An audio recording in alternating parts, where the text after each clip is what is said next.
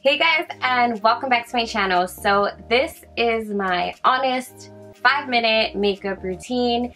This is when I literally have maybe 15 minutes before I could leave the house and this is what I do. It's like you just rolled out of bed but you're a little bit more put together than you'd normally be. I'm gonna start off with the Anastasia Brow Definer. I love this because it really is super quick. It cuts my brow routine in half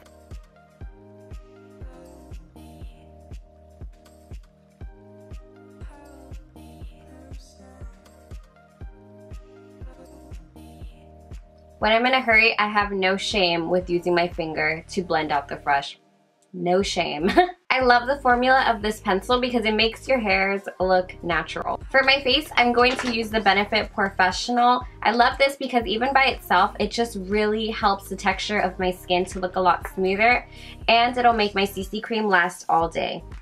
For complexion, I'm going to go ahead and take my IT Cosmetics CC cream. I love this because honestly, it makes my makeup just looks so natural yet it covers all my redness and my blemishes and I take it on a damp beauty blender. I feel like it's just part of my routine to wake up in the morning, brush my teeth, and wet my beauty blender because I know regardless I'm going to use it throughout the day. So it takes no time with using this and I think it buffs and blends everything out so much quicker than a brush would. Take like one pump and just slather it mostly on my cheeks. This also has SPF 50 so if you don't have time to moisturize your face, then this will kind of take care of that sun protection for you. I just do about one pump and apply it wherever I have redness because you guys know from my videos, I have a lot of pink tones.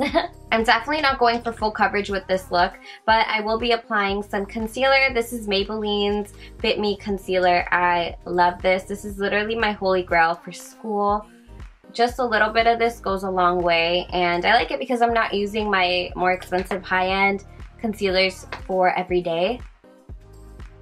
It also blends out really well on blemishes. When I do my concealer, I also go on my eyelid because my eyes are pretty red, especially in the morning. I'm just going to apply some chapstick. This is the Kiehl's Lip Balm. When I feel like I still need some more coverage, I'll take my disgusting, I can't believe I'm sh even showing it on camera, but it's my Urban Decay Naked Skin Powder. And I just like to take a Morphe E34 and brush it on any, oh my god. I'll brush it on areas that I need more coverage or on my T-zone.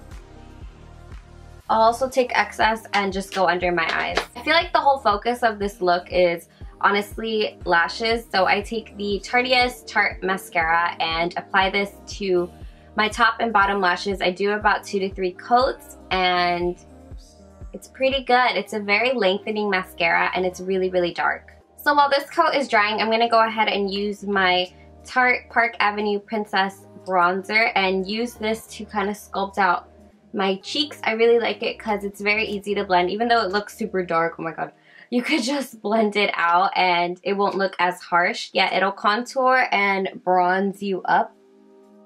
I know in the mornings I usually look pretty dead, so I appreciate things like this. Also go ahead and take any like fluffy brush. This is the Morphe um, M441 and just apply this into my crease to give me my color. I'm not going in any like, you know, perfect blend or anything. I'm just applying this for some color because I put on the concealer there and I feel like it looked white. for blush, I am taking the e.l.f.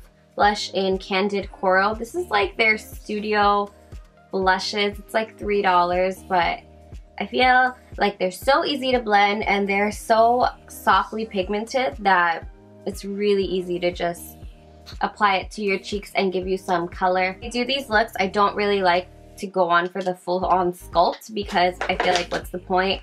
and of course, you know, I gotta highlight. I'm gonna apply the MAC Mineralized Skin Finish in Soft and Gentle.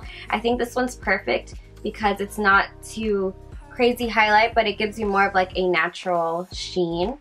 And I always take a little bit of whatever highlighter I'm using and just apply it into the inner corner tip of the nose, and cupid's bow. I know it's excessive, but I feel like it makes the look put together.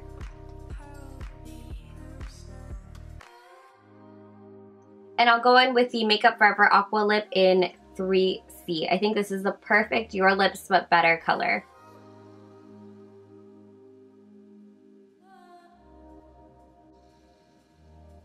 I also like to go in with my finger and just blend the lip liner onto my lips. Just gonna apply the last coat of mascara.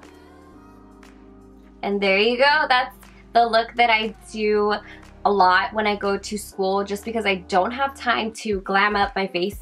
I just don't. this look literally will take me about three to five minutes, like max. It's so quick, it's so easy really simple and it doesn't have to be so accurate because let's be real, I do not have a steady hand at like 6, 7 in the morning at all for some wing liner. If I have time, I'll do like more of a glammed wing liner and kind of like a soft brown eye, you know, for school. But most of the time, if you do though, I applaud you. There's some girls in my class for like 8 a.m. class that come with like a full blown out smoky eye and some lashes. I'm like, like you slay the day. I applaud you. You are who I look up to and aspire to be, but I'm just too lazy for all of that. I hope that you guys enjoyed this video and I hope that you have a great rest of your day. Good luck on your semester. We got this. We got this, guys. If you ever need some like inspiration, I did do a vlog on like my study tips and stuff, so make sure to check that out. Also, sorry about the hair. I just didn't do it this morning. I'm sorry. See, sometimes I just don't have time. I don't have time. Okay. I'm gonna go to class now. have a great day. Bye, you guys.